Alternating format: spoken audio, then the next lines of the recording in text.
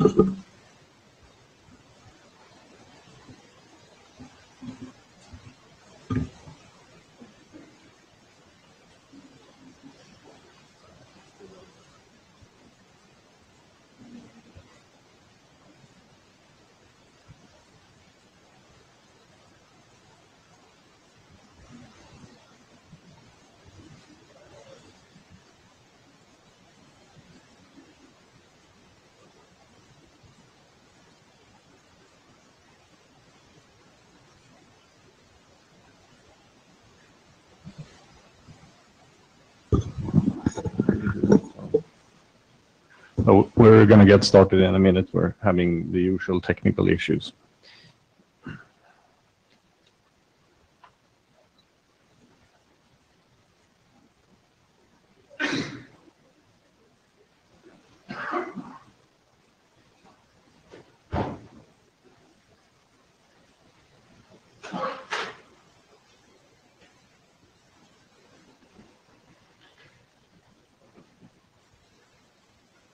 Um, Could we have um, volunteers for uh, looking at Jabber and taking notes for the day?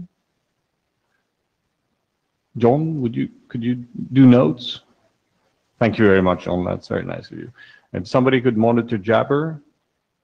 Uh, Excellent, thank you very much. Uh, Just sort of channel at- at Mike if, if needed.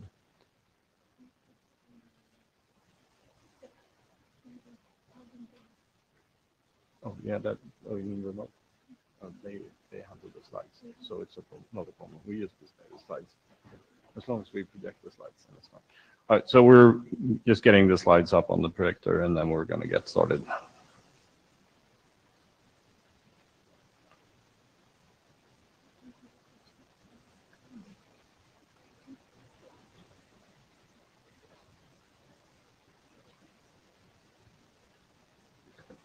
Mirror. uh,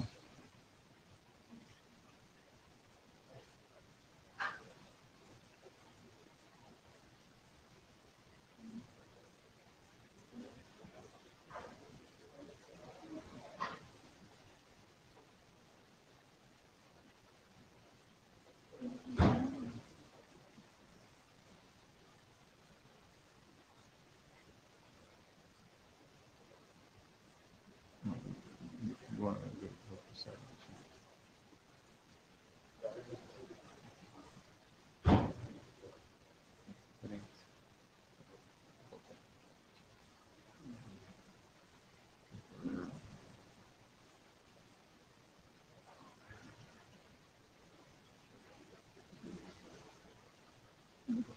Maybe on-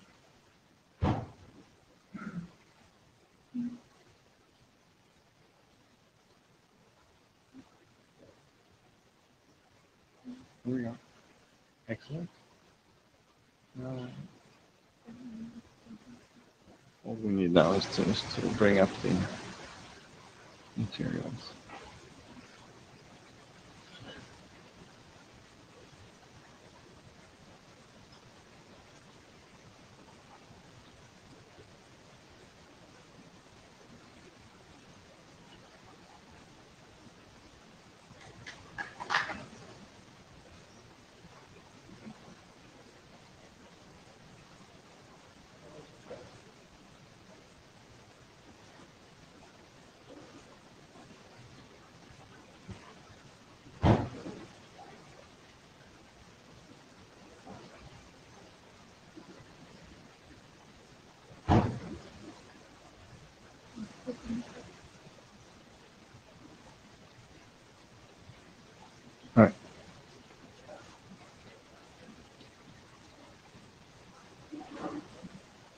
Mm.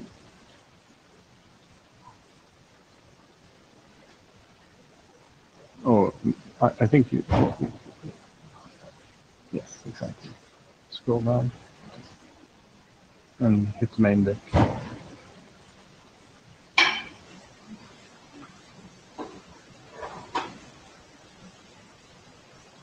And then full screen. Or, or we can just do that. We can just...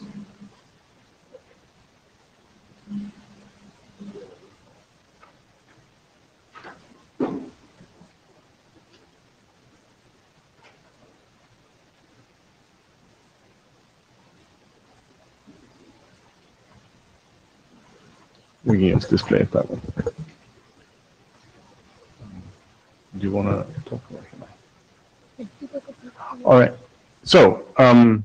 Welcome to UTA, um, in IETF Chicago. Um, if, if you have very good eyesight, you can see the note well screen sort of displayed, um, sort of tiny, tiny fonts on the, um, on the, uh, on, on the projector. I think everybody has, um, I,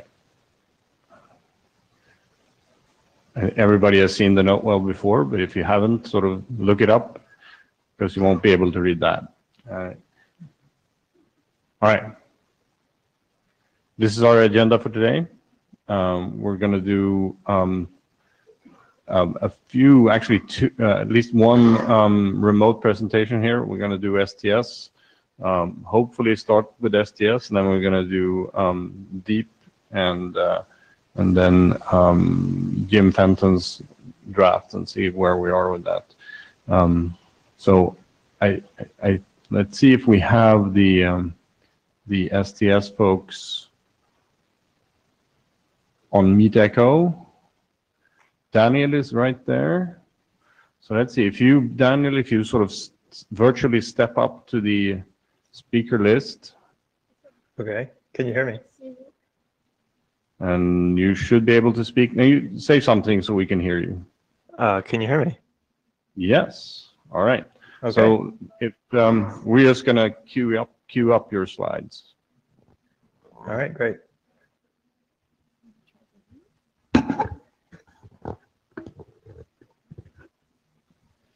Um, in the meanwhile, I would like to, to say a few words. So you saw the agenda for our, for our session today. We basically have three groups of slides. Uh, the first one is about communication, email, email communications between the servers. The second group or one, uh, uh, one draft is about the communication between the MTA and the server, the first hop. And the third draft, the third group, is, um, is about uh, the require header. It's all related to email. And, um, and actually, the, especially the first two topics are in a pretty advanced stage.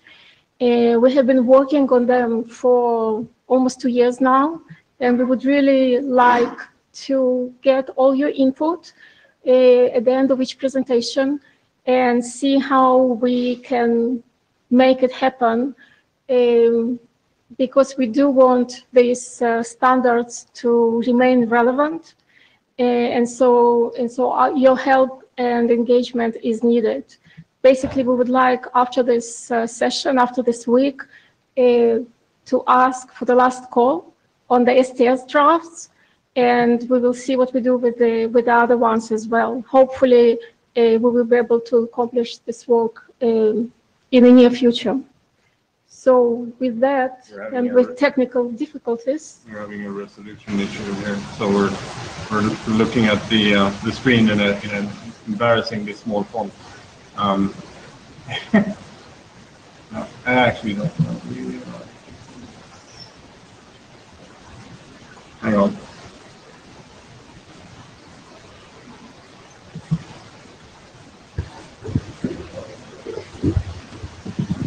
Hopefully, we're now looking at the first line of the. All right, I, I think, um, we just let Daniel start talking now, because we've got at least some version of your slides up. Um, uh, it, it's, uh, not perfect, but it's, uh, enough to go on. So Daniel, take it away. We're at the first slide. Just All right. tell us when you want us to flip slides. Will do. Thank you very much. Um, cool. So uh, audio quality, I hope is okay. Um, I wanted to apologize that none of us were able to be there in person, but um, hopefully this works all right. So um, I'm going to give a brief overview of uh, both the TLS RPT and the STS um, drafts sort of as they stand. I think for a lot of people in the audience, this is probably uh, familiar. And so hopefully you'll kind of bear with me, but I wanted to just give sort of some background first. Um, so next slide, if you would, please.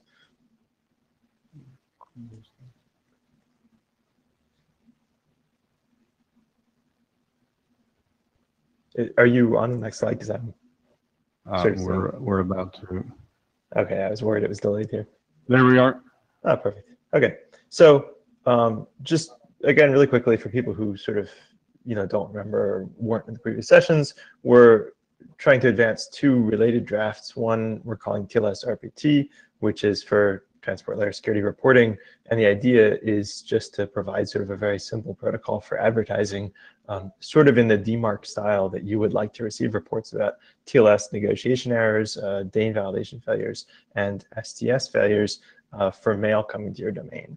And so we're sort of trying to get a little bit of transparency into how uh, server-to-server SMTP is or isn't secured. The second draft, I think that the sort of larger one is MTA STS, which is for strict transport security for uh, server-to-server SMTP. And the idea here is to provide some guarantees about what kind of uh, server authentication and what kind of encryption you can expect between servers. Um, so next slide, if you would.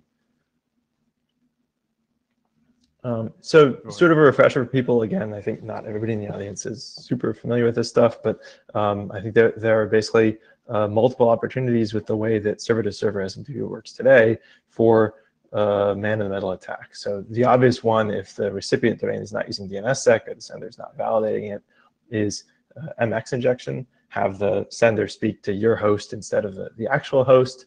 Um, uh, another option, of course, is to do a downgrade attack at some point along the way, uh, BGP injection, um, simply uh, serving, you know, pretending to be the recipient host, but serving a cert that matches your host and not the not the actual recipient works fine because pretty much nobody absent DANE today does uh, certificate validation, you know, requires TLS in, in, in any manner.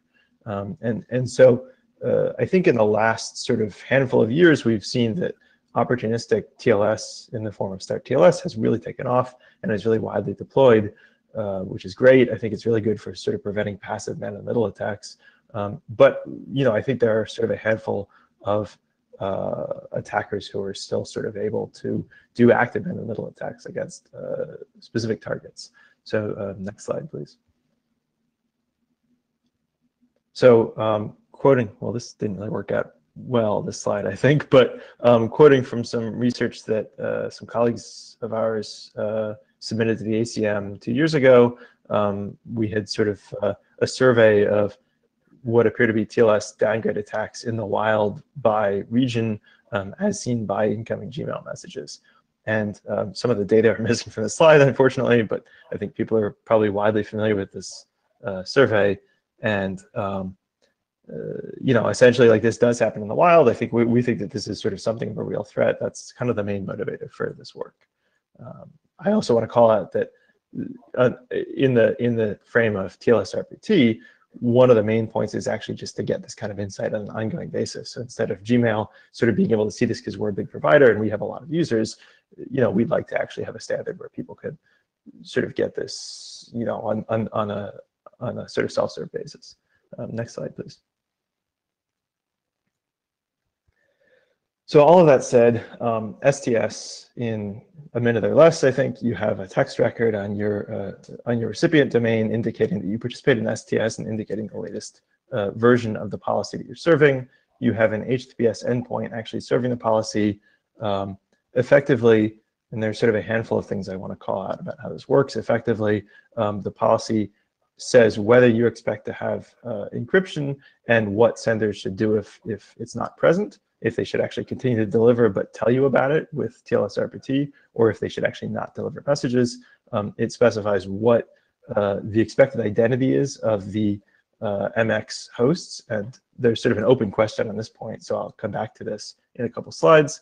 Um, but effectively, the authentication aspect, and uh, it specifies uh, an age, and the main point here is that because we're assuming that this will be deployed in places where DNSSEC and, and DANE are not available, um, we're relying on people discovering the existence of a policy for a recipient domain and caching it for a long time.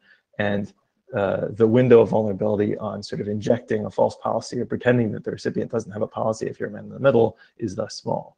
And so long-lived caches, uh, CA-based, sort of web PKI-based uh, validation, and basically a policy just says, I expect TLS, and I expect you to verify these particular identities. Um, next slide, please. So TLS RPT in about five seconds. Uh, it's basically like DMARC. You say, I'd like to receive reports about failures, send them here, and reports have some sort of predefined semantics for uh, failure categories. And I, I, think are basically fairly verbose, fairly sort of free form, and we expect people to share uh, relevant information about TLS negotiation failures of, of, of all sorts. Um, you know, not being able to find a, a, cipher you agree on, not having a certificate that validates according to DANE or, or STS, that kind of thing. So next slide. Um, so current status, I think there's been actually a lot of traffic quite recently, maybe no surprise on the UTA mailing list about this, um, but we're on version three of the drafts. Um, and I think uh, both, I mean, two, points I want to point out is that we're sort of working at, at, Google and a handful of other providers on pilot implementations, and we'd actually really like to sort of settle things enough that we can launch code without worrying about formats changing too much. Um, I think the other thing, as Orit said, is we're really trying to um, sort of, I don't, I don't mean curtail discussion because I think a lot of the discussion we've had recently has been really valuable, but I, I do think we've sort of reached the point where the fundamental strokes are sort of seemingly mostly baked. So I think the architecture is kind of laid down. People seem to sort of mostly agree on how the system works. And we're kind of discussing a handful of detailed questions, which um, I'm going to talk about in a moment. So uh, I'm sort of hoping that in this forum, we can discuss these things out and, and sort of get some good feedback and move forward. Um, next slide, please. Um, so the, the first open question is um, fairly uh, sort of aesthetic, I would say, um, but I, I, think an important one, obviously people sometimes feel strongly about this, the policy as shown uh, in, in that screenshot earlier is JSON. We picked this basically because it's um, standards track and it's widely implemented. And I think everybody, especially sort of security minded people, felt like asking people to write their own parsers is, you know, uh, not totally desirable. On the other hand, uh, I, think I think the alternative proposal we're entertaining right now is basically key value pairs um, not a complicated parser, widely implemented by MTAs. Um, I think potentially some downsides, not tremendous ones, uh, potentially some upsides, again, not tremendous ones. So I, I, I, see this as sort of not a really, really pressing argument, but um, I think we'd like to sort of basically get feedback and reach some consensus. Um, I think that the main points raised by uh, proponents of the, the key value pair approach is that um, a lot of MTAs deployed on sort of smaller footprint servers don't have a dependency on some JSON parser library today. Why should they have to take one? Which, uh, you know, is a fair point. So um, I think people can weigh in on this maybe once I go through one more slide. Um, the next one, please. Um, open question number two, and, and this one's a little more nitty gritty, but I think we've mostly resolved it, which is um, uh, Viktor Dukhovni had, I think, a very good suggestion that um, the, the semantics of the sort of MX constraint that we have in the policy, as we originally designed it, it was a constraint on the host name, and the host name should match, you know, this list of valid MXs and should present a certificate which matches its own name. Um, and I think uh, Victor's suggestion, sort of in summary, instead, is that the constraint be a constraint on the identity in the certificate presented by the MX. So the MX has to have a certificate which has a common name or a SAN which matches, you know, one of the host names in this list, one of the name patterns in this list. And um, I think the main point of this actually is that uh, it doesn't modify the MX list traversal behavior. So you'll connect to every MX as advertised. You'll simply drop them if they don't have a valid cert. And um, it actually also plays nicely with uh, DANE, which I, I, think leaves the window open for people having certificates where the certificate name doesn't actually match the host name, it matches like the, the domain that the mailbox is at. And so we sort of want to make it easy for people to deploy this without uh, having to deploy new certificates. So I think there's a pretty compelling argument for making this change. And I've actually already made this change in the current sort of GitHub version of our draft. Uh, but again, I'd like to sort of get feedback from people on this. And I think the big counter argument to this approach actually is that we're suggesting people implement sort of custom certificate matching logic.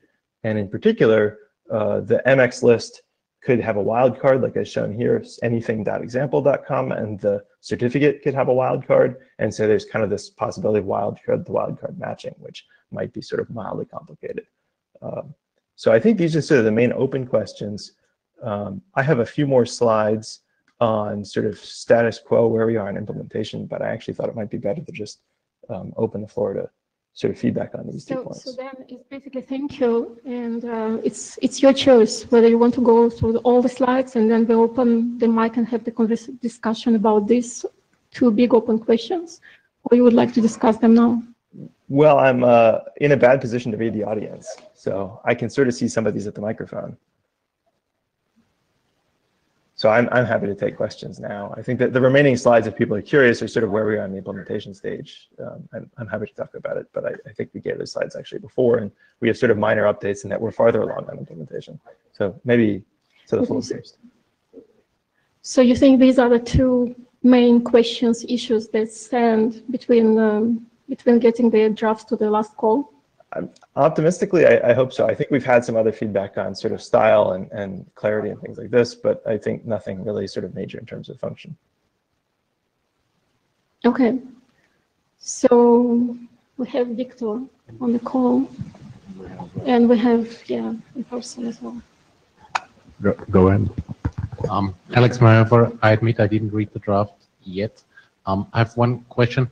Um, is there any text in the draft about the TTL of the STS definitions, or when does it expire? Is that based on the TTL of the DNS record, or? Yeah, so actually Yeah, we, um, and, and I probably went through the slide a little too quickly, but if uh, you later get the chance to go back to the slide where I showed the example policy. Um, so we have obviously a DNS TTL, as you said, but the policy has embedded in it uh, its own max age, which is how long you can hash it for. And so this is sort of a compromise, obviously, because like, uh, I think if I remember right, HSTS doesn't have an expiration, um, but we were sort of worried about the possibility that you sort of shoot yourself in the foot and can't receive mail, you know, ever. So um, now you can update a policy as long as you have a certificate for your domain, but seemed safe to have a max age. Okay, cool, thanks. Who, who else is on? I there? think Victor is uh, remotely. Oh, um, let's see, that, so let's see if I can, if this works. If I hit the button, I don't, maybe it kills, uh, Daniel's speaking rights. We'll see what happens. Oh, yeah, no. There you go, Victor. Please. Uh, Hi, can you hear me? Hello? Hello? Absolutely. Okay, Yes, we can hear you, Victor. Go ahead. all right, thanks. So um, about the JSON issue, um, the main thing I wanted to make sure is that the folks who are addressing it really are focused on MTAs um, as opposed to some other hypothetical environment in which they might like to see JSON. Uh, because, you know, if it's just sexy because you write all your Python code in, uh, you know, with JSON, but you're not planning to write a Python MTA, then, you know, really, you know, enjoy JSON elsewhere. Uh, so I hope that people come at this with a very practical viewpoint in that they're maintaining or planning to write an MTA, and and for their you know design, JSON does or doesn't make sense. That's that's it for me.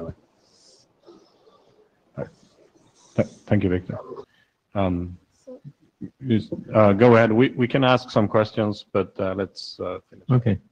Uh, Hi, this is Jim Fenton. Uh, So I have uh, a question about uh, TLS report and one about, and um, and one about STS. The, the, in the reporting draft, we have a, an existing example of um, a policy that calls for reporting in DMARC. And I was wondering if you had, and I, I apologize, I still haven't gone through and done a detailed review, but how, how this compares with DMARC, because one of the things that I notice isn't there that DMARC has is the ability for a uh, recipient of a report to advertise their willingness to, to accept reports from certain domains. So it, it basically uh, allows the re- recipient of a report to um, not get spammed with, with reports from people that just kind of say, well, gee, I'll just send my reports off to off to Dan and or, or, or, or whatever.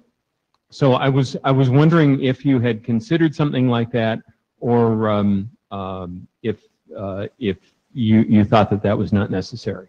Um, right. So you can still hear me, right? So um, we did discuss this. I, I had to be honest that it's been uh, long enough ago that I can't remember my, my sort of detailed argument for why it wasn't necessary. Um, but I think we concluded basically that so, so in DMARC, you know, obviously the, the the case is that someone else sends me mail pretending to be from you and pretending to be from them and their domain points reports to you and I sort of send a lot of spam to you. And you know, the same dynamic doesn't exist here because the reports would be from somebody who's already sending me mail. So they could, I think, just spam me directly. And so I had sort of, I mean, this is sort of hand wavy. I had sort of a more solid argument for specifically why we thought this wasn't necessary um, when we discussed it. I'm happy to sort of dig it out of my email and share it with you. But I, I think we felt that because the, the person sending the reports is actually the person already sending the mail to begin with, there, there wasn't an opportunity to trick somebody else into sending a report for you unless they send you mail, right? Does that Okay, make sense? as you can tell from my question, I haven't fully thought out Yeah. the, the issue myself, but I, I just sort of wanted to raise Well, it. I think that, yeah, it's a fair, I think that leads me to the point actually. So to state it more clearly now that I have it back in my, sort of in my head, um, the point is basically if I, if I wanted to get you to send reports to somebody else to spam them, you would have to send me a bunch of mail anyway. And it seemed unlikely that you would, as a, as a good person, send me, the malicious person, a lot of mail and I would sort of have TLS failures and then you would sort of send them somewhere else, right? So um, it, it sort of didn't, and, and, and on the, on the flip side, for sort of somebody else being able to receive my mail, uh, my reports, I'm sorry. For DMARC, it makes sense because people receiving DMARC reports may not themselves have a mail receive infrastructure. But here, the only people interested in receiving reports are those who are receiving mail anyway. So hopefully that makes sense. Okay, my, my other question, um, I have, have some question about sort of for, for STS about the deployment dynamics of, uh, of the enforce mode. Um, I, I, just have this feeling that, you know, there, obviously there will be particular, particular domains that are interested in enforcing, but by and large, you know, larger email providers and so forth will not be interested, you know, they, they, they wouldn't want to turn it on because all of a sudden, some of their users wouldn't be able to receive mail from certain of their other users and they'd get a whole lot of complaint reports. So I guess my question is sort of from the standpoint of, say, Google. Would Google Mail be likely to deploy uh, uh, STS Enforce? Um, so I think, I mean, it's a, it's a very good question. Um, and I, I don't know if I could say for sure. Um, I would say that, you know, one of the lessons we've learned from, for example, P equals reject uh, with DMARC is that um, users are already confused about these things. And DMARC is, I think, actually much more confusing because the, the, the example case that I've seen is, you know, you have uh, a Gmail account set up where your from header is set to your old Yahoo account and Yahoo switches on P equals reject. And who do you complain to that your mail isn't getting delivered? You don't complain to Yahoo, you complain to Gmail. Um, so I think actually DMARC created a, a world where um, users' expectations were, you know, for sound reasons, sort of heavily violated. And um, in comparison, uh, in, in Gmail, you know, we already have a UI that tells you if we think the, the message will be sent encrypted. Um, I think it's less of a change. And, and I mean, to caveat this heavily, I'm not the product manager, like I can't speak for them, but I think it's significantly less of a change to say we're going to warn users that this message can't be guaranteed to be delivered with encryption. And, you know, perhaps to tell people mail shouldn't be sent at all if the other domain says that they want enforcement and vice versa. So kind of a hand wavy response because I can't say for sure, but I mean, I, I, I think that we. Yeah, I, I don't expect it. you to commit Google, but I just, uh, if you, I, obviously, I, I, you know, you probably thought about that. Mhm. Thank you. Uh, this is DKG. I'm just relaying from the Jabber room. Um, so we have a comment from Aaron Zauner, who uh, uh, who says he's still uncomfortable with having to rely on shipping trust related info with HTTPS. Um, we also have a comment from Viktor Dukhovni saying that he agrees that DMARC in particular is a very different context than this, uh, and also that um, this that JSON adds a new dependency and MTAs are part of the base software footprint of multiple operating systems. All right, um, so I would like to ask a couple of questions. Daniel, are you comfortable doing a couple of hums on these two core questions? Um, getting some feedback from the room. Uh, So Sure. one of the things that I would like to ask you is about, if we can step back to the previous slide. Um, starting with your open question number one about policy formats. So do, I want to make sure we have people in the room who are actually implementing this or planning to implement it. Otherwise, it just makes more sense to do this on the list. So uh, hands up if you're sort of representing an organization who, who are likely to implement um, this. There, there, there are some, and and I'm I'm assuming there are some people on Jabber who are sort of virtually raising their hands too. Yeah, excellent. So uh, of of you, of, of you people, um, would you prefer um, JSON or a key value uh, policy format? You can just express your your indication or your your preference by um, well, raise your hand for for JSON. Um, and then raise your, it's okay to raise your hand for both, actually, you know, and, and raise your hand for, for key value.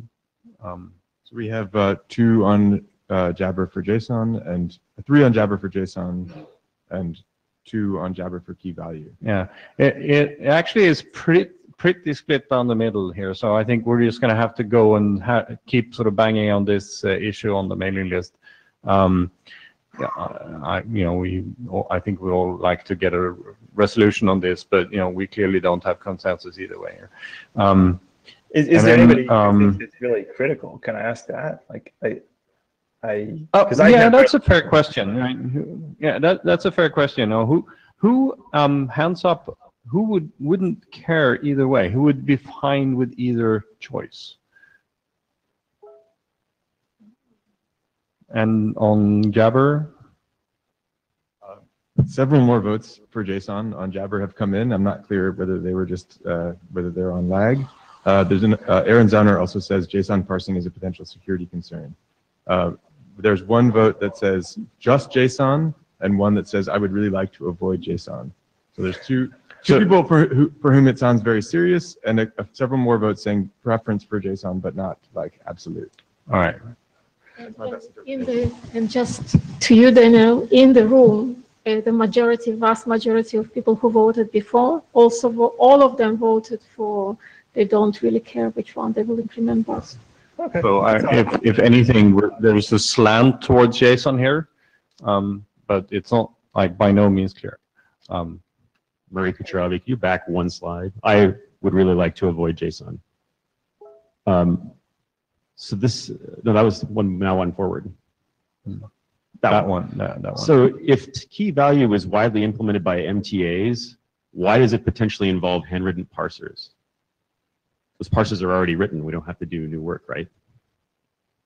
Yeah, I think, And uh, in same the goes case where, JSON. so, JSON is I mean- widely implemented. MTAs aren't using it. You have the, so I, I, I don't understand. It seems like you're trying to talk yourselves out of key equals value for a, for a reason I don't get. DKIM's been doing this since what, 07, 06? no, I don't know. We have, we have some code written, but it's sort of six of one, half of the dozen of the other for us. Yeah, I, I can't say I care. Um, I, I think obviously I'm in a poor position to weigh in because at Google, you know, it's not code that other people are using exactly. You know, we have our own MTA, and so it's sort of hard to speak to like Viktor's concerns with postfix and Linux deployments.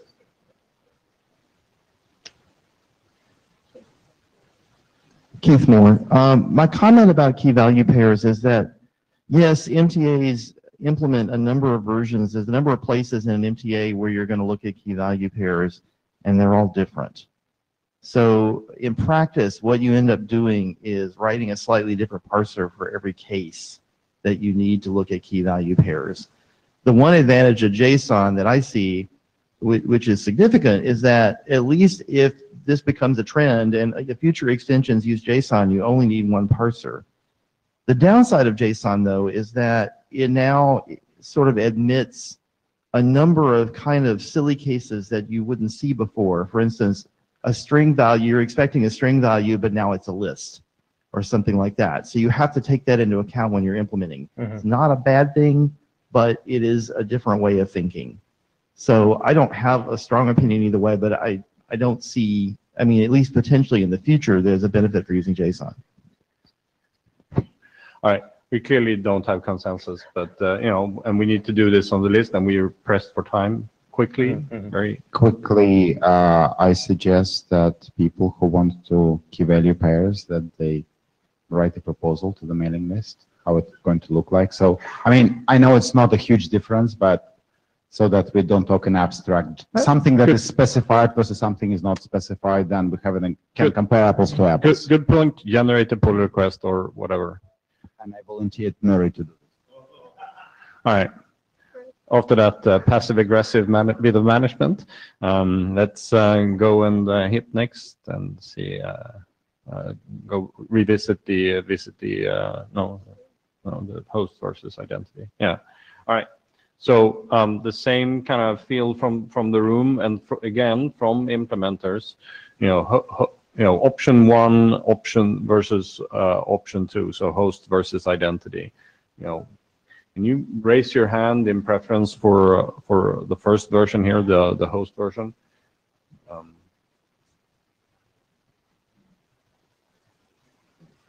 And, yeah, I did read reporting draft. I didn't read the other one today. So why not both?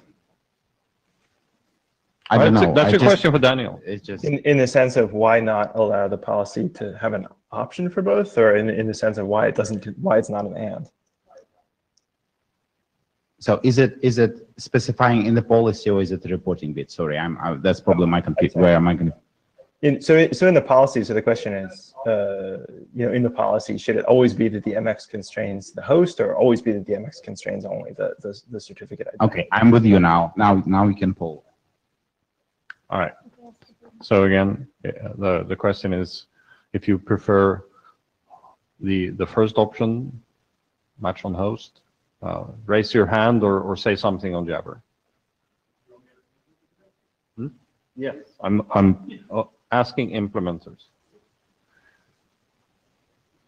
And nobody, and then the. No one in the room. Nobody, nobody in the room seems to prefer the, the first option. That means that uh, if, if you prefer the, the second option, sort of pattern constraints for SAN and CN, Let's book it for the second. and uh, does that same thing reflected in Jabber? Two hands up in Jabber? All Two right. hands for the subject alt name. Yeah, okay, that means three there is, that, I, I think that's pretty clear consensus Four for, hands. for, uh, subject alt name option, and we'll, you know, confirm on the list, but, um, but that's, um, I think that's a, that's consensus right there. All right, so, um, do, so did you have more slides, Daniel? Um, I, I have a After this, handful like, sort of on where we're planning to go, but I, I actually think uh, the most important part was resolving those two questions. So- right, because we're, we're sort of a little Yeah. bit pressed for time, so we might, I think, if, No, we I'm- might I'm actually with- skip those and go to, to Let's switch. I think that means you're up, Keith, All right, while we figure out how to switch slides. Thank you, Daniel. Thank you very much.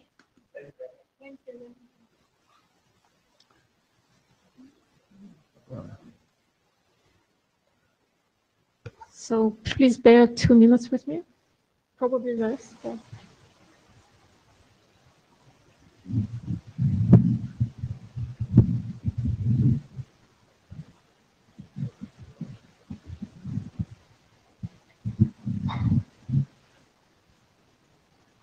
All right. Okay, here we go. Okay, so this is the, uh, the sixth version of what was originally called the deep draft that, uh, wait, change slide.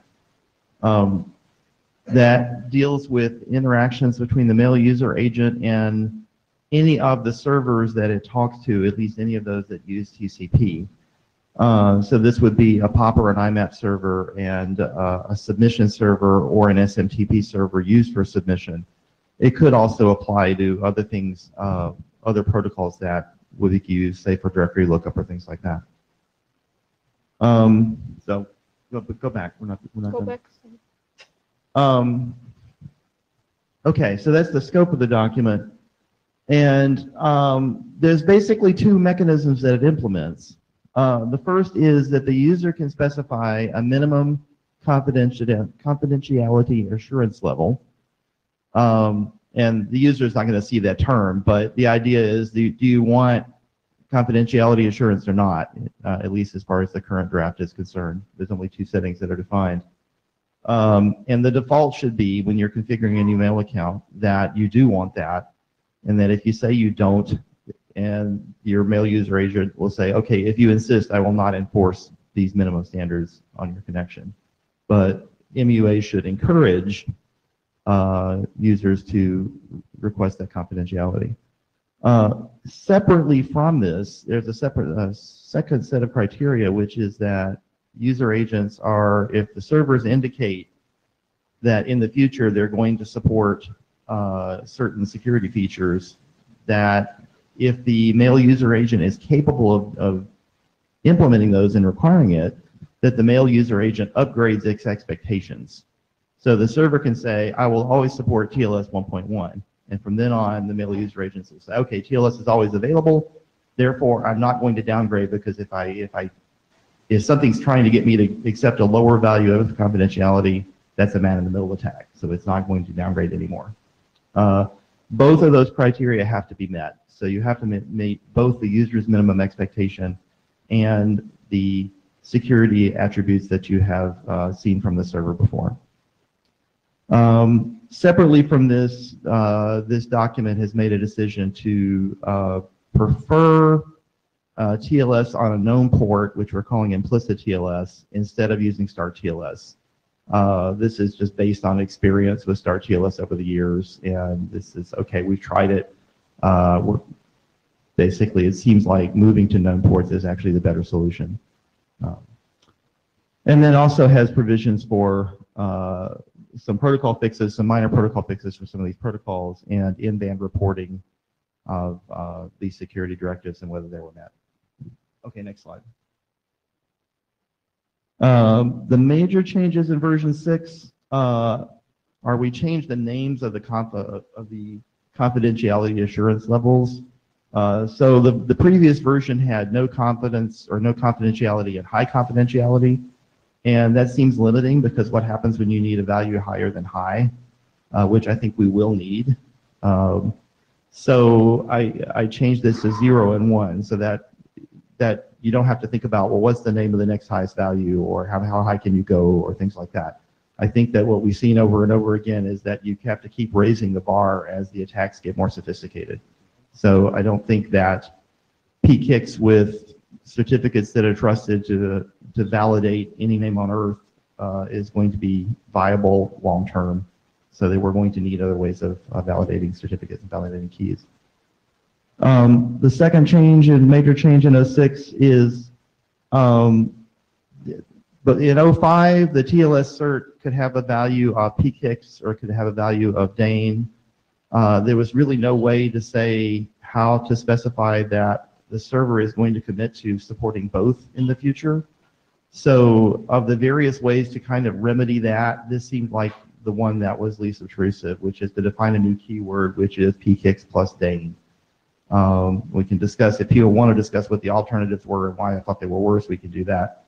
But this seemed like the simplest change. Uh, and also, um, this can be used both in the uh, security assertions that the server is making. So it can say, I'm using PKIX and DANE, I'm supporting both of these in the future.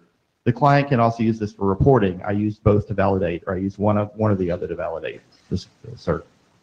So it seems seems flexible enough. Next slide. There are a lot of clarifications in 06. Um, the, the term confidentiality assurance level was kind of ambiguous, so I added yet another word to it to say that when the, when the user sets this expectation, it's called the minimum confidentiality assurance level. Um, when you're looking at a given session, that can have a confidentiality assurance level which is higher than the minimum, so that's why there's a distinction there. Um, make it clear that those two criteria, the minimum confidentiality assurance level and the security directives must both be satisfied in order to continue with the connection. Um, make it clear that clients may use protocols that if you have several uh, protocols associated with a mail account and some of them meet this minimum confidentiality assurance level and some don't, the client can still use the ones that do. So for instance, the client could read mail if that connection met that uh, confidentiality assurance level, but it might not be able to send mail at the moment because that's, that connection is subject to an attack. It's kind of a minor point, but I wanted to make that clear. Um, TLS version 1.1 or greater is required to meet the um, minimum confidentiality assurance level of one. Um, and either PKIX or DANE suffices to meet that confidentiality assurance level. Uh, the previous draft was kind of ambiguous about that. Uh, and then also there's some clarifications about interaction with antivirus and anti-spam mechanisms. Most of these I think are minor, but trying to be complete. Next slide. Um, there's a question about I, I- something I need to look at is how TLS serve uh, a value of PKIX plus DANE might affect other protocols using this. I haven't looked at that yet. Uh, is there a need for confidentiality assurance levels greater than one in this document? I'm thinking not, but uh, that's future work. Uh, I believe it was previously agreed to separate out of the IATA portions. I, I didn't I didn't get that memo before I was editing this document. Um, but and I actually think it's a bad idea. Uh, it will slow down progress, but we could we could go back there if we need to. Um, and then also, I'd like to add some language about exactly what it means if you get a connection that doesn't meet these criteria. Then let's specify in a little more detail what a client needs to do. I don't think that's controversial, but I think it needs to be done. Next slide. I think that's it. Yeah. Okay, that's all I have.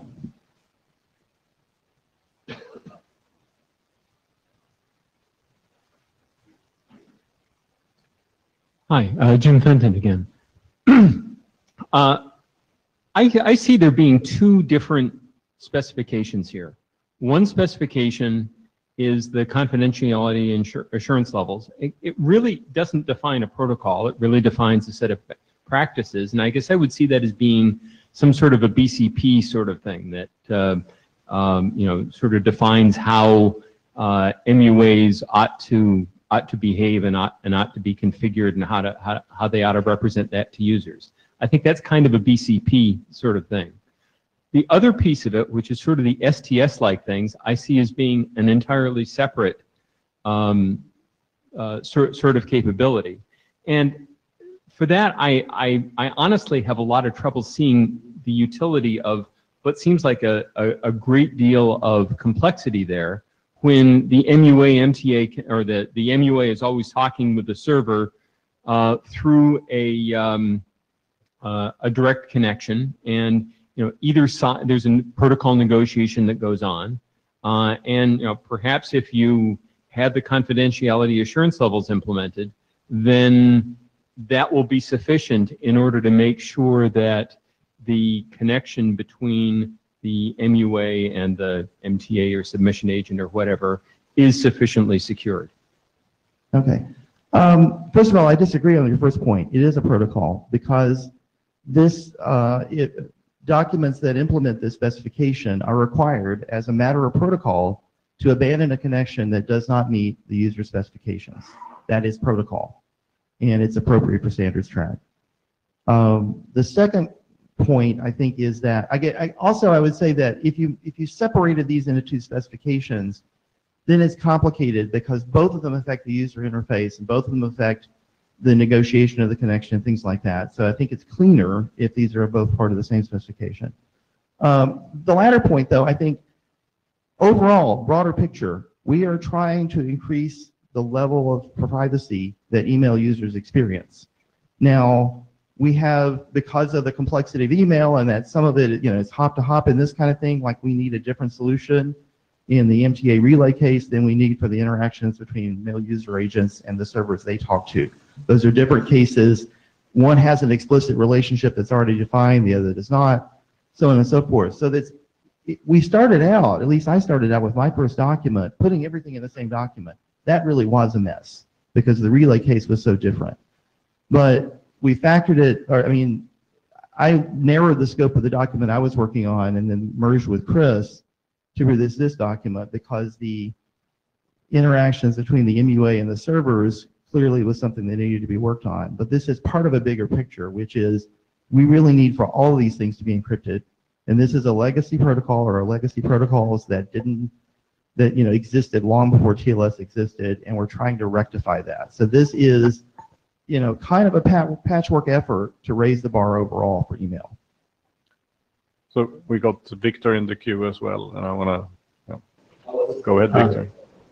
Uh, hi, I almost forgot my point during the uh, the, the uh, previous uh, question. Um, uh, anyway, um, so I think the specification assumes that um, DANE is well defined for mail user agent to uh, SMTP or IMAP.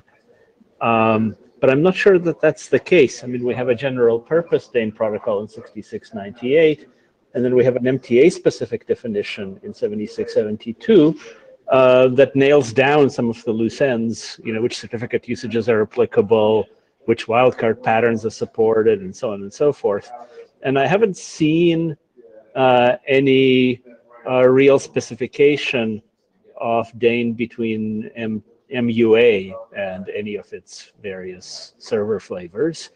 Nor do I know if there's really any appetite to do the work uh, in, you know, M- mail user agents to add DANE support. Uh, so while I'd love to see that happen, I think there needs to be some interest in doing DANE for MUAs uh, before we wonder about whether to define PKIX plus DANE for MUAs, because this DANE thing doesn't have any meaning yet, I think, for the MUA to IMAP or submission interaction. Am I on the right track there? I think you raise an interesting point, and it's something I want to look at. But uh, but I certainly agree that if if there's no if if it's not well defined how you verify a cert uh, of a a server that an MUA talks to using DANE, then we either have to find a simple way to define it, or we have to factor that out of this document. Because I don't want to I don't want to wait six months or a year to define all that stuff if it's not simple to do. Let me just Uh, in- insert a question here. Have, have you, um, uh, on a related note, have you, do you have um, discussions going on with implementers? Uh, I mean, major um, MUA implementers who who would actually um, implement this? I personally have not. Chris might have. Oh, okay. But I think that'd be an interesting sort of, um, I, I think it'd be useful information to get to the list. I mean, the same, same kind of questions we asked um, for, for the MTA case. I think we, at some point, need to ask for the MUA case and just make sure that we're not sort of specifying stuff that nobody's implementing. Sure. Bron Gondwana, my question is, from a user perspective, what does this setting actually mean? There's the my email doesn't work and my email works option. They will choose the my email works option without caring what's happening underneath for 99 point something percent of users. Uh, in which case, why bother having a switch at all? If it's going to work almost all the time, why not leave it turned on and not give them the option of switching it off? It seems to be a switch that either doesn't do anything or does the wrong thing. I think this is a question of, with, if you only have opportunistic encryption, then you can't tell a user whether or not his connections are being attacked. There's no way to know that. other than verifying that at least the certificate matches the name, in which case you're back to the same problem for web browsers. Uh, I don't know of any MUAs that I- only I- do opportunistic. I think all MUAs are checking certificates that I've seen or used. Sorry, I'm not meaning, to- I'm not talking about certificate verification. I'm actually talking about, uh, like, for instance, whether to use STARTTLS or not, or whether to, to fail over from the TLS port to the Okay, so what we do at Fastmail for this is exactly what you said, which is requiring that you use the implicit TLS port and we don't even listen on the STARTTLS port, in which case that problem is solved. But it's also an MUA that has is using this standard will also be an MUA that requires TLS by default and doesn't need anything else. It's just you must use TLS before I send the password over the wire, and the problem's already solved. Well, except that I believe there are still a lot of servers out there that don't require TLS and that maybe don't even support it. So the user agents, as a practical matter, have to support these legacy servers. In which case, this does nothing. No, in, in which case it tells the user what his expectations can be. Like, if, if I'm That- sending mail to your service, my MUA should always negotiate TLS. And if, if it ever fails to do that, something's wrong. Yes, but this doesn't need any additional standard. The MUA can just have a button that says yes or no, or require TLS before I make a connection. I, I think the, the real problem is that what you'd like is, let's say that, I, you know, because I've had this happen, uh, MUA that's been configured for years to talk to the same mail accounts, and the mail service provider has upgraded and now supports TLS consistently. And I shouldn't have to go back as a user. I have to know, and users in the wild have to know that they have to go change their configurations in order to raise the level of expectation. Uh, for Uh, new accounts, it's a different question. How does having a different standard rather than the MUA is just putting code in that says if I've seen a successful TLS connection or uh, try a TLS connection each time, and if I see one, then require it from then on. There's a difference between a service provider, you know, turning on TLS for some connections and they're, and they're making an explicit commitment to do that. So, the- I mean, Chris and I had this discussion earlier on when we were trying to do the draft and said, well, just because someone enables TLS does not mean they're going to commit to supporting it, that they're going to commit to putting valid certificates out there, so on and so forth. And so that's why we made that part explicit protocol. So the user says, I require the provider to supply TLS, which means they're reconfiguring their MUA for their legacy account anyway. Actually, no, that's, this is handled by the other mechanism, which is that the service provider asserts with these security directives that they're committing to these features in the, in the future, and the user agent automatically changes its configuration because the, the service provider has made that assertion. That's a different thing which from the minimum confidentiality assurance level, which is when the user configures the account, that basically the expectation is it's going to require uh, TLS and a valid certificate and, and all that. And only if the user insists will it set it to a lower value. So the default would be always require TLS. And then if, if it's like, oh, if you insist, okay, we'll, Yeah, that, that seems entirely a user agent configuration thing to me that doesn't need a separate standard. That's just. in- well, I mean, part of the purpose of the standard is to specify minimum requirements for implementations. So, and again, it is a matter of protocol because if something claims to meet this specification and then doesn't close the connection when those standards aren't met, it's failing to meet the protocol. So that's why it's the work paper standards track is actually something that can be tested in implementations and so on and so forth. TWS. There's already, sorry, Neil Jenkins. Um, there's already uh, the SRV mechanism for looking up what the browser supports. We already have the, sorry, what, what uh, the configuration is for particular mail service. There's already a um, separate port defined, as we've seen we're going to use for implicit TLS. So again, if MUAs want to support this, they can just look that up. We can say just, you know, if you're a service, you should implement this. They look it up. If they see now that there's one with TLS there, they use TLS and don't offer to, to not use TLS. This doesn't seem to be giving a great win whilst giving a huge amount of extra complexity. And I just don't see it being hugely implemented. A huge amount of what? I didn't hear the last part. Extra complexity without the additional gain. Okay, I, I think that if this actually ends up being a huge amount of extra complexity that, you know, we should look at it some more. It wasn't intended to be that, at least when we started drafting this document. Uh, that mail user agents that, for instance, already expect TLS and don't ever do anything else are, I think, trivially compiling, uh, complying. I'd have to go back and look again to make sure. Um, and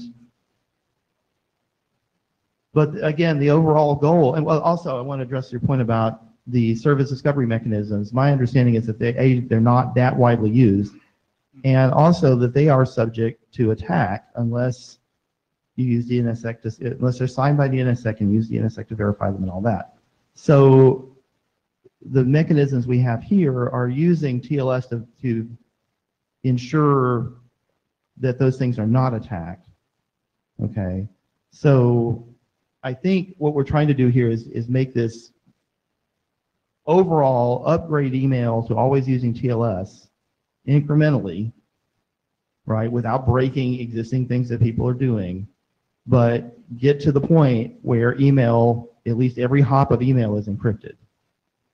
And that's really the overall goal. And this, this seemed to be I the minimum set of things needed to get to that goal. I guess the main thing, I, I, there's a lot of providers, I think a lot of the major providers only offer a, um, TLS connections like I think Gmail does, Fastmail does. We haven't offered a um, non-TLS version for ages and just don't open the port. And that seems for services that want to ensure this, the privacy and security. That seems somewhat simpler and something they can just do now.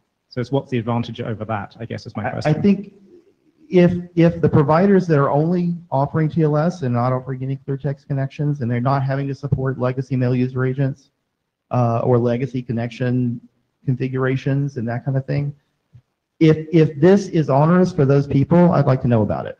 Bron Gondwana again. Legacy mail user agents are not going to upgrade to this. I'm Leg- talking about the, the, I'm sorry, I said legacy mail user agents, but we're, really what I mean is the connections, the configurations of these mail user agents that haven't changed in years.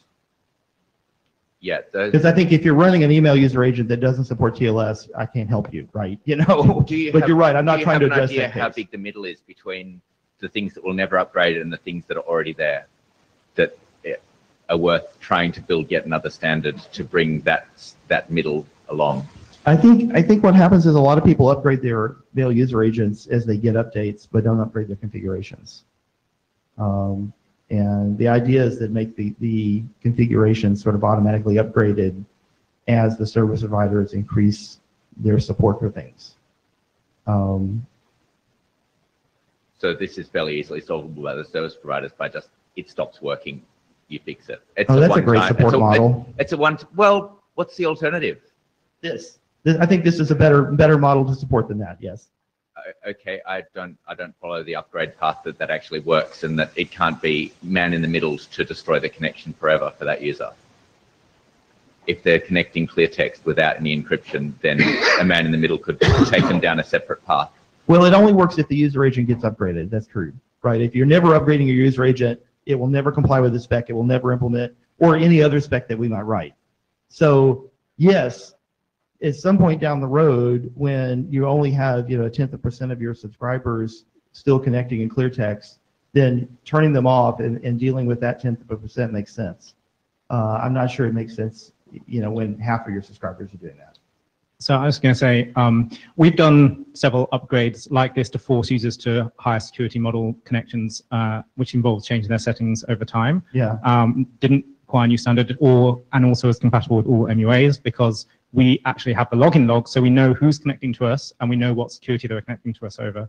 And so we would uh, start with, say, 1%, move up to 2%, and of, of the ones using the insecure connections, email them and say, you need to upgrade and after time cut them off at the server. So sure, they would still connect on that port, but we would reject the logins, forcing them to upgrade. That way you can do partial users over time Mhm. until you've moved everyone and then you shut the whole port off and the whole thing's gone. That lets you do this incremental upgrade to a higher security, lets you control how fast and who the customer support side of that, and doesn't require any new standards. We've done this several times. We have more to do because there's always new security stuff. Who's we? I'm Sorry, sorry. Fastmail. Okay. Um, all right. I'll, I mean, I'll go and take a look at that. I want to, I want to see if we really can affect all this because then maybe we should write a draft about that. If we can, if we can solve this problem without adding protocol, maybe that's the right thing to do. And then we could publish a dro- document about that. Um,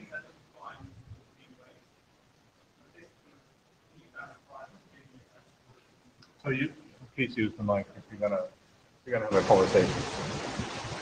Sorry, yeah, the great thing about that is, is, you know, it's a process, not a new standard, is that you can do it without requiring any new support from the MUAs. Every MUA that supports TLS, you can do this with, because it's just you managing this on the server. And um, yes, it does mean the users themselves have to update the settings, but you control how many, how fast, and cut them off incrementally. And that incremental stuff's really important. I don't know if there was anything in this spec about that. It looked like it was everyone, well, it would be hard to make it incremental. Um, there's always support issues with any kind of change like this. And so uh, once you're at a sufficient size, you need to be able to do it in stages. Uh, so yeah, I, I think that as a process seems to get most of what this is trying to achieve without requiring new standards. Yeah, I'd want to go over the document, because I mean, this document is trying to achieve a number of different things, and I'd want to go over and say, what is it that we can't get by what you're proposing? Hmm. The other thing I want to say is like, how, again, stepping back, the broader problem is, how do we get all email encrypted? All email, and, and this is not end-to-end, that's a separate problem, which is also still needs to be solved. But, um, And what's the best path to do it, and how can this organization best promote that? So uh, if we can find a better approach than this document, I'm all for it. Or maybe, maybe a subset of this document is still needed, but yeah. Okay, that, that has been great, great conversation, very helpful. Um, actually, I would like to ask, just out of curiosity, since this draft has been for a long time in works, um, how many vendors here actually have been playing, imp- planning, implementing this draft in the room? Okay, I think half. Okay, great, thank you. So, All right, all right, while we queue up, uh, Jim. Um, so, uh, again, this is the IETF and this is all about running code, right? So we're, at some point, we're gonna get to the same sort of discussion we had for the last draft and, you know, look at implementers and make sure that what we're specking out actually has support among implementers. Um, uh,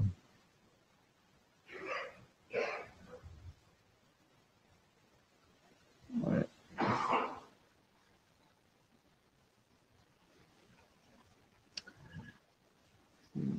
We can find. No, the We're- audio we're hasn't dropped looking- out. We're yeah, just we're- working on slides again for the remote people. Yep, we're looking for the slides.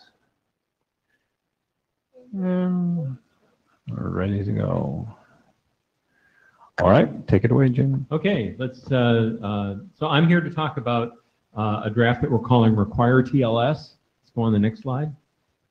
And uh, so just to review, I I presented it uh, initially at uh, Buenos Aires uh, last year and uh, and then remotely once since. But uh, the, the, um, the issue here is that when you're sending an email message, you typically have no idea how it's going to be handled in transit, whether, whether the transit is going to be TLS protected or not. Sometimes when you're sending a message, like if I'm maybe talking with my financial advisor, or maybe if I'm um, off in, uh, off in some other country where I don't know uh, what their, what their policies are there, um, it's not entirely clear whether that message is going to be in the clear on the, uh, uh, on the internet or not.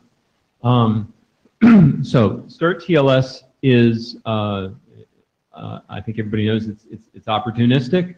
Um, and, but not only is the, the question of whether to negotiate TLS opportunistic, but also certificate verification is typically ignored. Um, that if, if the, the certificate of, of the uh, uh, SMTP server doesn't, doesn't verify, we just kind of log that and keep going. This is often what you want, but it's not always what you want. Some senders want to prioritize uh, security over delivery. And um, that's what this is about. Next slide. So the goal here is to allow the sender to specify um, uh, whether or not to, uh, to require transport uh, encryption between MTAs in the, in the message path. Um, this is a different approach, complementary to the STS sorts of things where the recipient domain advertises a policy. it's very fine grained. Uh, it's it's done on a message by message basis, so you know you don't have the uh, the potential for causing uh, large scale breakage if you if you implement this. Um, uh, this provides some control over how certificates are to be verified, whether or not you insist that the that the uh, recipient uh, MTAs uh, authenticate with with valid certificates or not.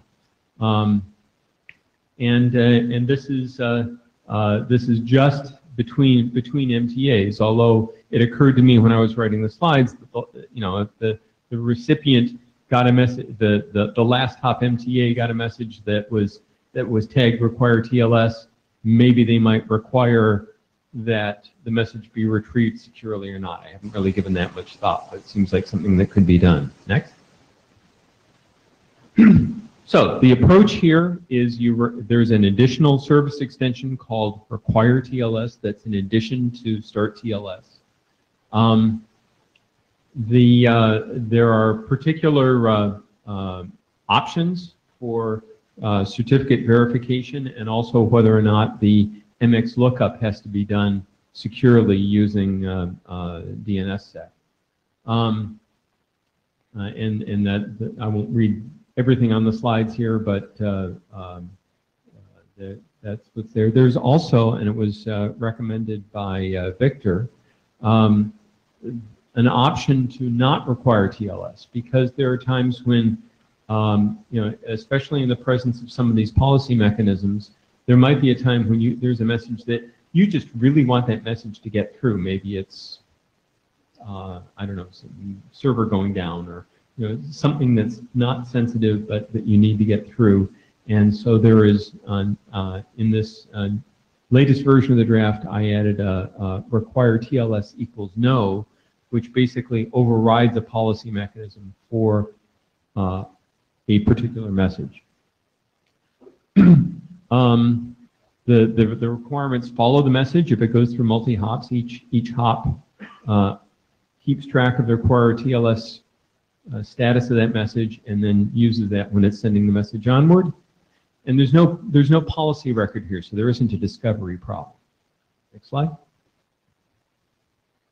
So um, I, I put out this new version of the draft mid-February with the, the things that I described, um, particularly the required TLS equals no is the, is the biggest change there. Um, there are uh, now two uh, prototype implementations, one for Exim and one for uh, MDaemon that have been done, and we've done uh, some limited interoperability testing. We have some more to do there, but we have at least the ability to uh, to exchange required TLS uh, uh, protected messages uh, with those. And then here's a little more detail on on what's new.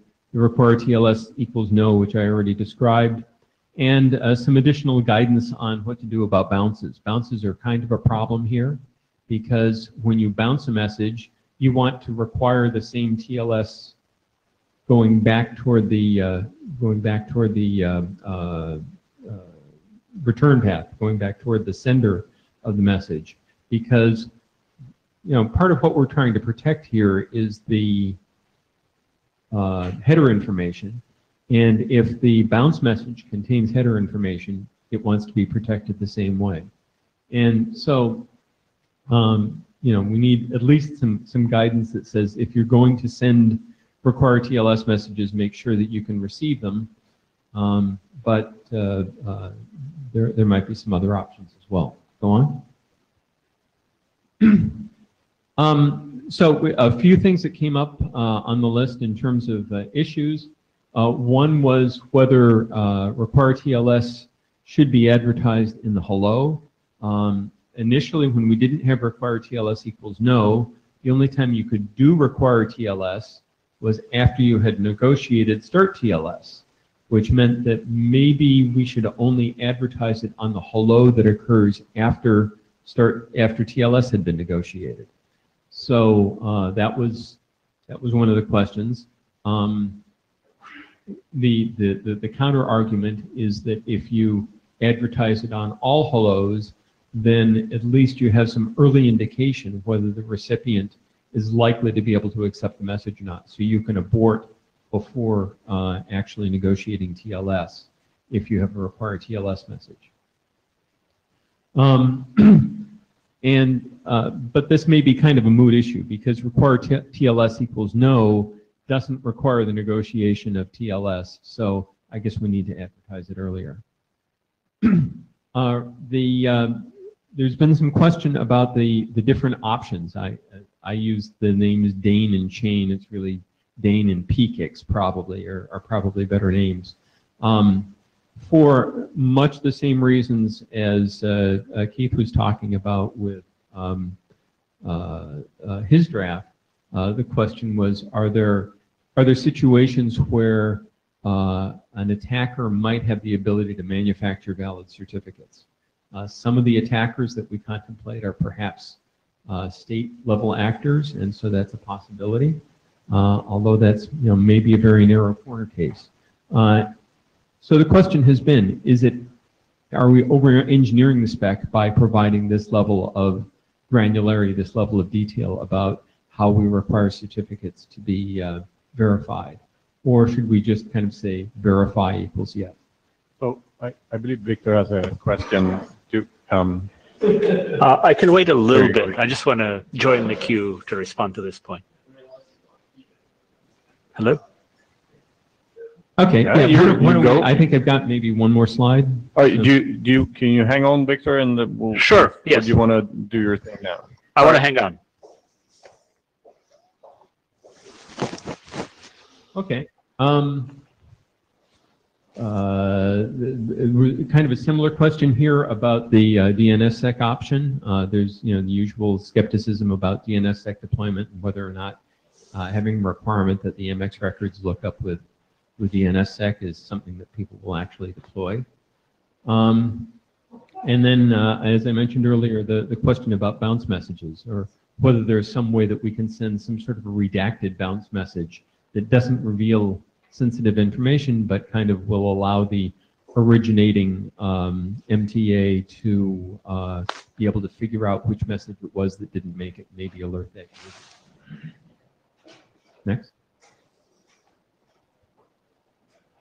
And so what I'm what I'm wishing for from the working group is uh, more review. We've had kind of very thin thin comments from uh, uh, a very few people, uh, and I'd like to have enough that we could have something that we would call rough consensus.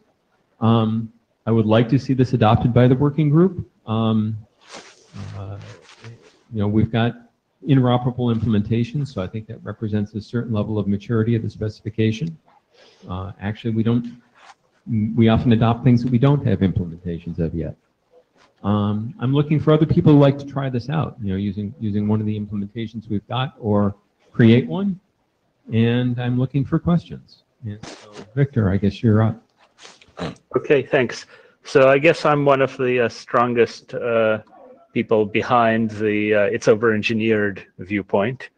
Um, I'd like to very much suggest that anything more specific than uh, must TLS or must TLS with authentication uh, is is unlikely to to be deployable. Uh, so please no specificity as to whether DNSSEC is used, whether DANE is used, whether PKIX is used. I think no user is going to know even how to specify it or what it means.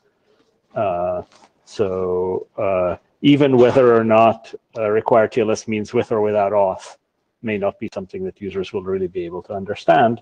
But at least I think those are the, the maximal levels that I would suggest are, are viable. Um, the other thing I wanted to mention is that uh, as the instigator of require TLS equals no, um, I've been having some thoughts about how that should really work uh, on the side.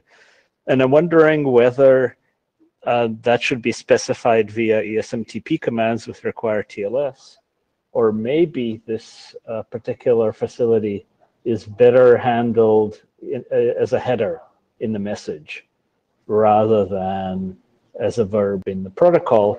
And the reason for that might be that require TLS equals no can safely travel through MTAs that don't understand the verb, right? If I have a legacy MTA that doesn't do TLS, doesn't know that it won't require TLS, it's okay because we can send the message on. And then if in the following hop, hop somebody's very clever and might otherwise bounce the message because TLS policy by the receiving system is is hostile to delivery here.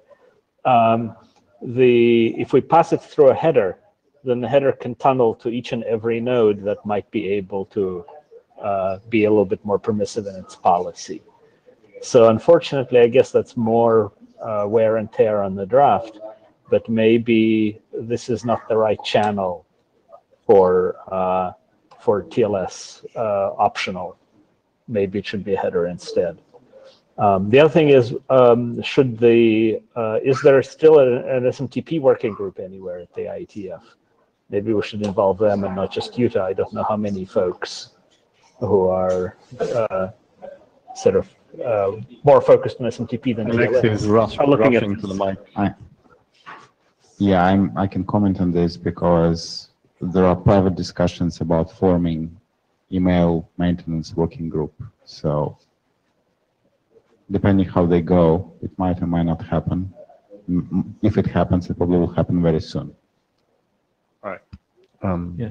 let, let me just respond very quickly to- Yep. to Viktor. Um, I guess with, with respect to uh, putting it in a, in a header, I understand the, the motivation for that, and that's, that's an interesting idea. I'm a little bit, it's from a sort of protocol layering standpoint, it seems, seems to be a little bit, a little bit tricky to handle, uh, trying to, to get that information out of the header in order to affect it. But uh, we've done things like that in the past. Um, the uh, I'm I'm more reluctant to remove the uh, the DNSSEC option than I am to uh, merging the uh, uh, chain and DANE or chain and PKIX options, just because it seems like there's a huge vulnerability, a huge verification vulnerability that exists if the MX gets spoofed, and uh, that that exists even if you have uh, verification of the uh, uh, of the certificate. Uh, just a quick comment on that because I'm doing DANE adoption surveys. I have pretty good data on DNSSEC adoption, and um, at the moment, it looks like about two thirds to one percent of domains have published DNSSEC. Um, so we're a long way from anybody realistically uh, being able to require uh, DNSSEC on their uh, uh, for transmission of any significant volume of mail um, uh, you know, the, the fraction of those who have DNSSEC actually, that do DANE is actually much more encouraging than the fraction of people who do DNSSEC in the first place. Um, so I think users specifying this will be very disappointed for a long time. All right. Um, I'm going to relay from Jabber. Uh, Aaron Zauner on Jabber points out that uh, uh, advertising this verb before STARTTLS gives an opportunity to strip the feature.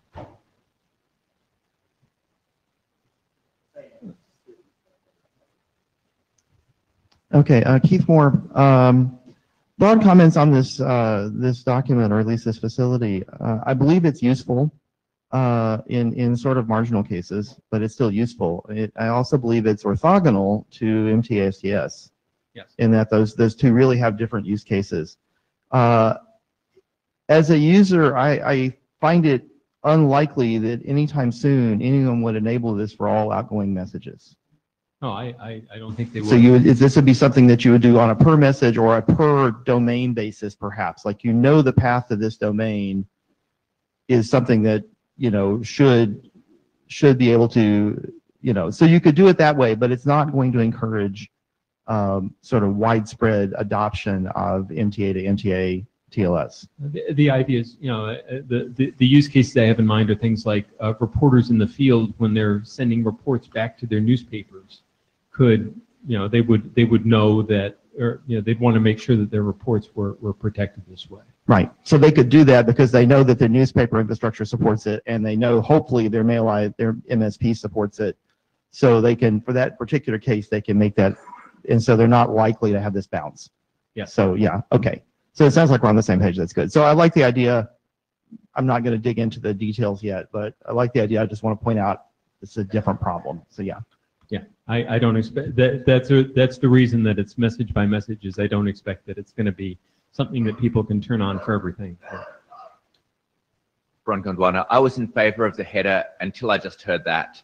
Um, the problem with having it as a header rather than something that's negotiated every single time between the MTAs is that if you negotiate it to the first hop with the header and it's sent correctly, and then it goes to a hop that doesn't understand this after that, it can quite easily go over a non-TLS connection and you'd have no way of knowing.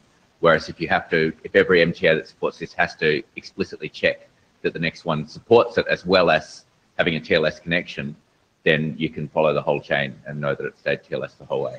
Yeah, I think the case that Viktor had in mind for using the header was the start TL, uh, the require TLS equals no, uh, which was the case where, um, you know, you, you didn't need to, ne- to, to negotiate it on every hop. All right, I'm going to cut the line after whoever is Viktor and, okay, that, that line dissipated. Go ahead, Victor. Uh, just confirming what Keith said. Uh, yes. Uh, sorry, uh, Jim. Sorry. Uh, uh, the just the no case is a candidate for a header. The yes case has to be a verb. All right. Um, so, um, I- want to get like, some guidance from our, AD here. Would this be in scope for our charter? Or would you rather we, we sort of put this on somebody else? Um, in scope, yes. I would rather concentrate, uh, the working group concentrate on existing drafts first. Uh, That's a, that's I a mean, fair uh, point, right? That's a fair point, right? And, and Um, that doesn't mean that we need to delay this for, you know, nine, nine months if we cannot do Mhm. anything else, but I, I So- would like, what we could do, we could sort of ask, try to figure out whether there is interest in the, in the working group for adopting, implementing something like this, right? Yeah. And that, that way, you know, Jim knows whether he should sort of keep sort of spinning on this or whether it's sort of worth his time to do so, right? And then we can decide to actually adopt uh, at a later time. Would that make sense? yes. All right. And Jim was CC'd on a private conversation about email maintenance working group. So I think he's Yeah. fine to submit it there as well. I Yeah, don't, I don't mind.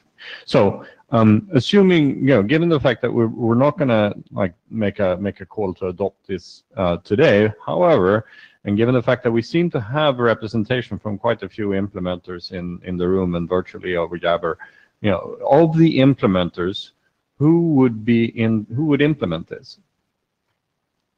Hand, hands in the air and Jabber plus ones or something. Um, who would consider implementing something like this, right? Doesn't have to be exactly like this, but something like this. Two hands raised on Jabber. Aaron Zauner, Viktor Dukhovni, three. Right. Uh, and maybe fast, okay. With the emphasis, with an emph- There- with an there- emphasis there's one on, hand, on yeah. the simple, the simpler versions. Yeah, right, right. Um, all right, so there, there seems to be at least some support for something like this in, in the implementation, and you already have two implementations. Um, um, mm, in that case, I'm going to ask the, the other question, who, you know, um, and this is for the general working group, do you, would you support uh, adopting a, um, uh, uh, this, something that looks like this as a working group document? And you can, and you can hum now. Right. There, there's, there's something, right? All right, I'll, t- we'll take this as an indication that the, it, it, this isn't, there, there is some interest here and we'll definitely revisit this. Um, I, I guess you should take this as an indication to keep, sort of, keep spinning, Jim. Um, and with that, I think we're, we're at three minutes, uh, to the end of our meeting. If somebody has open issues to raise, um, now's the time, or you get three minutes back. All right. Thank you all. Thank you, everyone. Extremely useful.